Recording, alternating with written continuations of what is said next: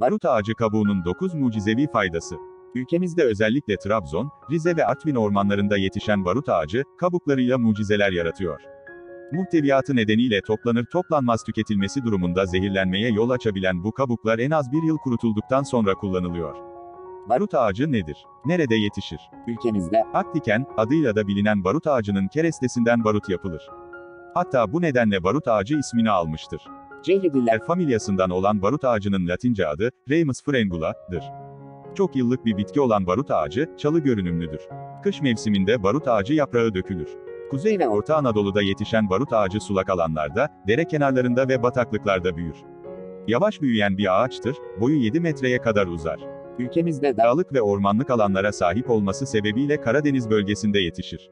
Barut ağacı meyvesi ham haldeyken kırmızı, olgunken siyah renktedir. Barut ağacı kabuğunun 9 faydası.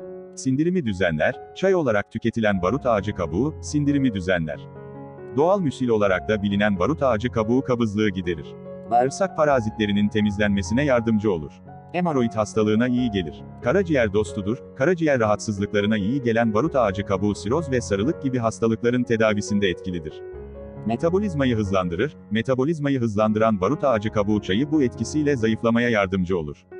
Kurşun zehirlenmesine iyi gelir, barut ağacı kabuğundan yapılan çay kurşun zehirlenmesine karşı iyileştirici etkiye sahiptir. Gut hastalığına iyi gelir, gut hastalığına karşı iyileştirici etkisi vardır.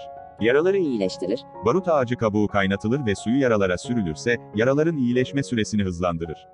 Kan akışını düzenler, vücuttaki kan akışını düzenleyen barut ağacı çayı, tüm kan hastalıklarının tedavisine yardımcı olur. Kalp damar sağlığı için faydalıdır. İdrar söktürücüdür, barut ağacı kabuğu çayının idrar söktürücü özelliği bulunur. Kas ağrılarını azaltır, herhangi bir sağlık sorunu, soğuk algınlığı ya da spor sonrası meydana gelen kas ağrılarını hafifletir. Barut ağacı kabuğu ne işe yarar, nasıl kullanılır? Barut ağaçları Nisan, Mayıs ve Haziran aylarında çiçek açar.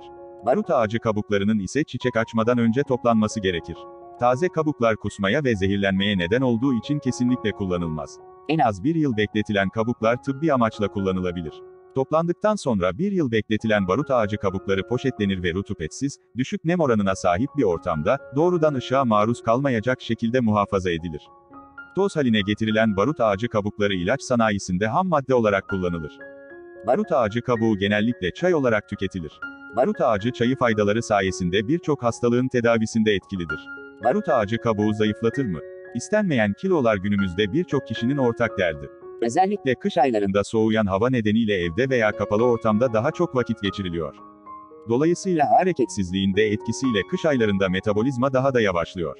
Barut ağacı kabuğundan hazırlanan çay, kabızlığı giderir, bağırsakların düzenli çalışmasını sağlar, kan akışını düzenler ve metabolizmayı hızlandırır. Tüm bu özellikleriyle barut ağacı kabuğu çayı zayıflama konusunda etkilidir. Barut ağacı kabuğu zararları ve yan etkileri. Barut ağacı kabuğunun bilinen bir yan etkisi olmasa da, doktora danışarak kullanılmasında fayda vardır. Doktor onayı aldıktan sonra, gün en fazla 3 fincan kullanılması önerilir. Kusturucu etkisi nedeniyle gebelikte kullanılması önerilmez. Kanalımızda yer alan bilgiler, tavsiye niteliğindedir, mutlaka bir doktor kontrolünde görüş aldıktan sonra denenmelidir. Videomuzu faydalı bulduysanız, beğen butonuna basıp yorum yaparak, daha çok kişinin faydalanmasına yardımcı olabilirsiniz. Güncel videolarımızı takip etmek için, abone olup, bildirim zilini açmayı lütfen unutmayın. Bir sonraki videoda görüşmek üzere, hoşçakalın.